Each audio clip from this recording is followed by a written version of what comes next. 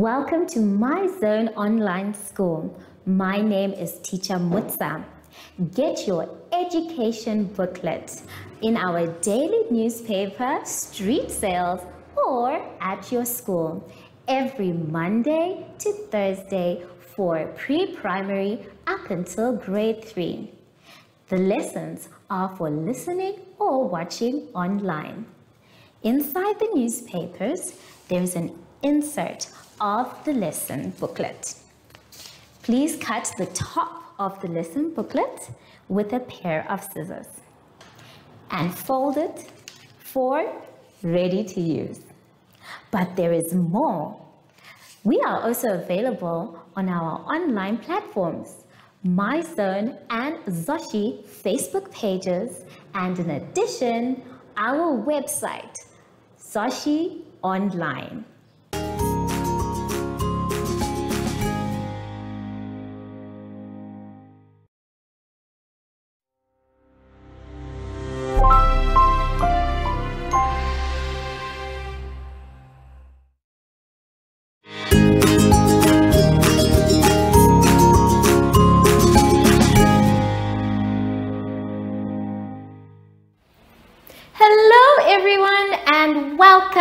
To My Zone Online School. My name is Teacher Mutsa and thank you so much for joining me today. Our theme this week is senses. And before we get into any lessons, boys and girls, we know that we have to sanitize. Remember, sanitizing is not the only way we can stay safe. We can practice good social distancing and wear our masks when we are outside. Make sure your hands are dry before you touch anything else. For today's lesson, we're going to be doing comparisons, computation, and crosswords.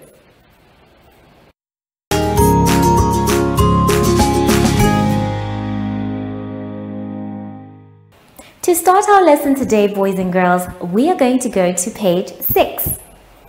On page 6, we are going to be comparing numbers. Now, it is our job to write the symbol that makes the problem true. So let's take a look at the board.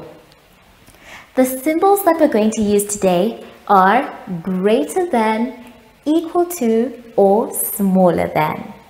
Now these ones, I'm sure we've bumped into them somewhere, but today we're going to use them as symbols to show which number is bigger by comparing two numbers. The first one we're going to do is the one that is at the bottom of your page. It says 23-22. Now, if we're looking at the two numbers, when we are counting, you need to start from 20. If you start from 20 and you count on, because both of them live in the family of 20s, you will see which one is the bigger number. 20, 21, 22. It looks like we started on 22 and then 23. So that means that the number 23 is bigger than the number 22. But how are we going to show that? Well, that's easy. We will use our symbols. Now pretend that this is a hungry crocodile and he likes to eat big numbers. So when there are two numbers standing together, he swims and then he checks which one is bigger. We already know that 23 is bigger than 22. So what he will do is get into the river and open his mouth and he will eat the bigger number. So to help him, we need to put his mouth in the right direction. So we are going to say bigger than and he will eat 23. If the mouth is facing the wrong way, he will eat the wrong number. So remember, this hungry crocodile likes to eat big numbers. Let's try the next one. We have the number 77 is dash then 77. Oh no! Can you see what I see? It looks like it's the same number. And that's true. Even though they belong in the same family of the 70s, we can see that there's a 7 behind the 7 and another 7 behind the 7. So what do we do now? Well, that is very easy. We know that we have our symbols bigger than, equal to, or smaller than.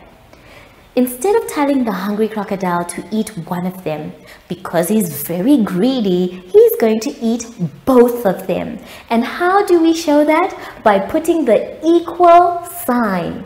So we're going to place the equal sign.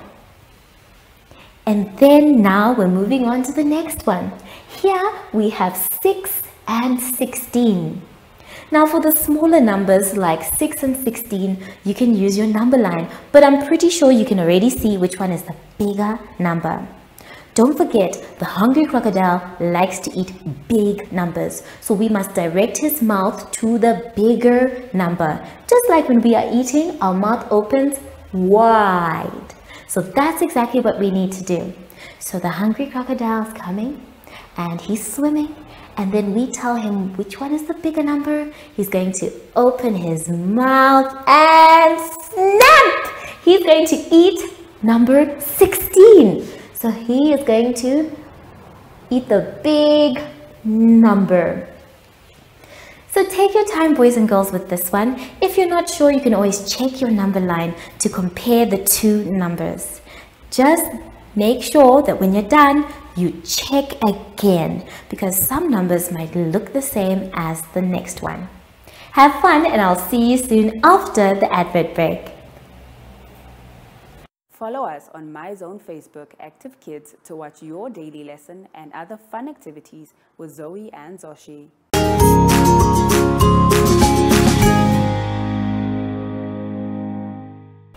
For our next exercise, boys and girls, we're going to continue with our mathematics on page 7.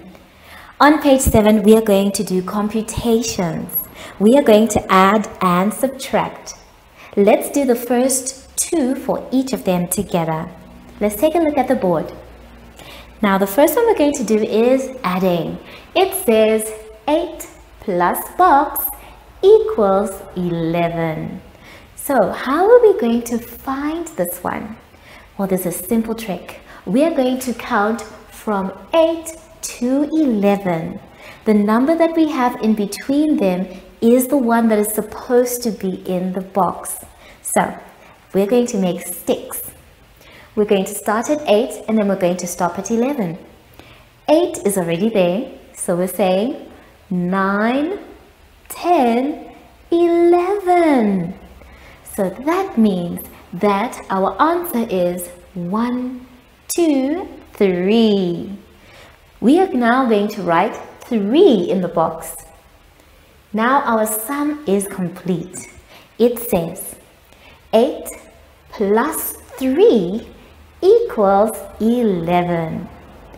Let's now try and do the next one. It says 7 plus box equals 10. So again, what we're going to do is count from 7 all the way to 10. The number that's in between them is the one that is missing. So let us start. 7 is already there, so we're going to say 8, 9, 10. Now we're going to count our sticks. One, two, three. They are also 3. So we're going to write our answer 3. Now our sum is complete. It says 7 plus 3 equals 10. Now I'd like you to do that for all the ones that you have to add. You're going to try and find the difference between the two numbers by drawing sticks. And then when you're done drawing those sticks, count them. The number you get is the number that's supposed to be in the box. Now let's try and find the ones for the subtraction. We are also going to do the first two together. It says 10 minus box equals 7. This is a minus sign. So what do we have to do? Well, we're going to do the same thing Except now instead of counting going forward, we're going to count going backwards. So we're going to start at 10 and count backwards until we get to 7. Now 10 is already there, so we say 9, 8, 7. And now we are there. We now have to count our sticks. Let's go. One, two, three. So the answer is three. Now the sum is complete. It says 10 minus 3 equals 7. Good job everyone. Let's now do the last one together. The last one says 15 minus box equals 5. Again, we're going to use the same way. We're going to start at 15 and then count going backwards. So, let us begin.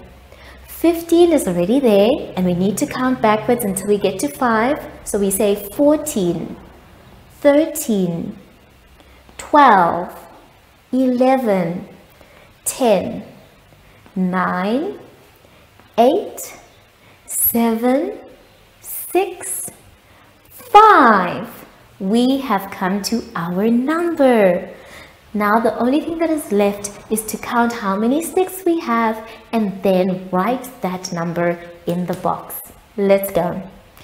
One, two, three, four, five, six, seven, eight, nine, ten. There are ten sticks. So our answer for the box is 10. That makes our sum complete and it says 15 minus 10 equals 5. So take your time boys and girls with both sides. Remember when you are adding, you're going to be counting forward from the first number to the one that is at the equal sign. And then when you are subtracting, you're going to count backwards from the first number to the one that is at the equal sign. Take your time and I'll see you soon after the advert break. Do you have children in the age range of 5 to 6 years and want to participate in our school booklet program? Please contact us on 081 74 3759 and we will put you on our distribution list for the attention of pre-primary schools. Topics include family, summer, culture, traditions and houses, transport and communications, occupations, autumn, and more. We distribute countrywide in over seven different languages.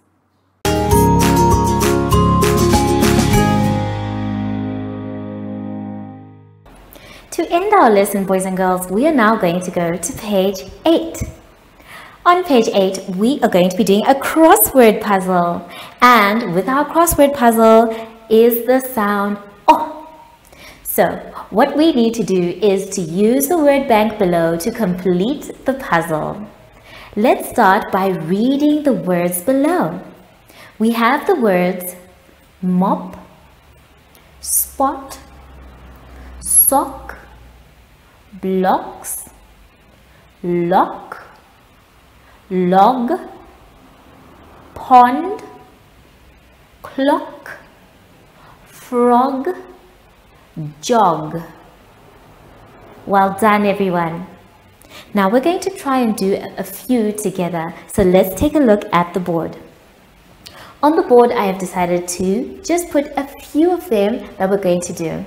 Remember, when you're doing a crossword puzzle, the picture or the clue is going to be either on top to tell you to write going down or on the side to tell you to write going across we have some of our words that have R here that we're going to use to fill in the blocks.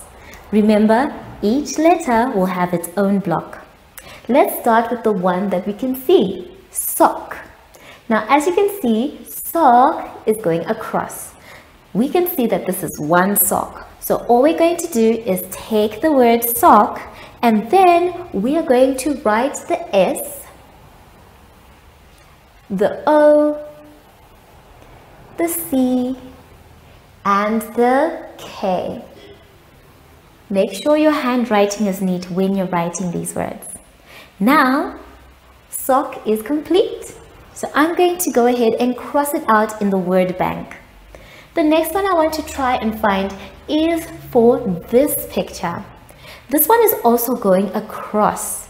Now, I'm not sure what this is, so I have to go to the word bank to try and find which word can best describe what I'm seeing here. We have the words mop, no. Log, no. Spot, no. Jog, no. Blocks, yes, they look like blocks. So I'm going to write the word blocks. I will start with a B and then an L, an O, a C, a K, and an S. Remember boys and girls, each letter will have their own box. Now my word for the picture blocks is complete. The last one we're going to do together has a picture which is telling us to write going down.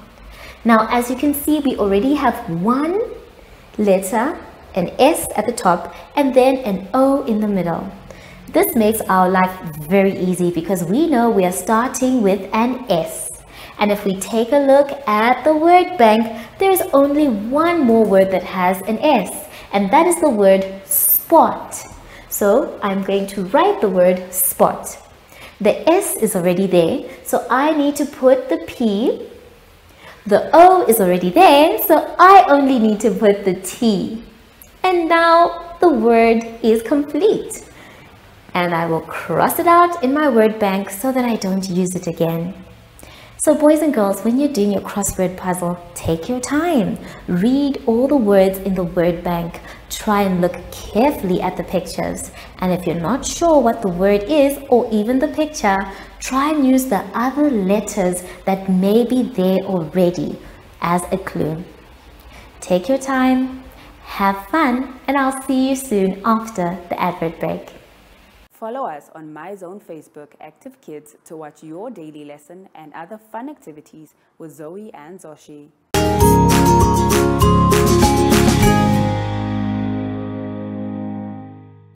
Boys and girls, we have now come to the end of our lesson and I hope you had fun. Remember, if you're not sure what to do or you are confused, that's okay, you can always ask an adult for help.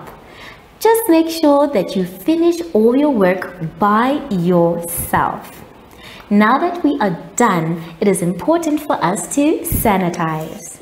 Remember boys and girls, if you don't have sanitizer, that's okay. You can use soap and water. Just make sure you wash and rinse your hands for 30 seconds.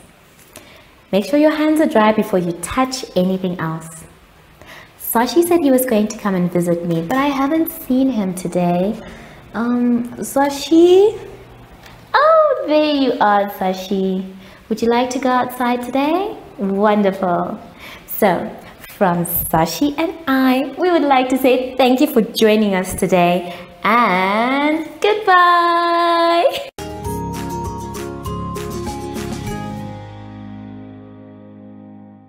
Our online school will help you along the way. Find us at www.zoshy.online and download the booklet. Follow us on Facebook to never miss a video. Subscribe to our Zoshy Telegram channel if you want to receive daily updates. Proudly sponsored by the Ministry of Education, Arts and Culture, Namibian Community Trust, UNICEF, MyZone Online School, Amos Meerkat Syllabus, and Capricorn Foundation.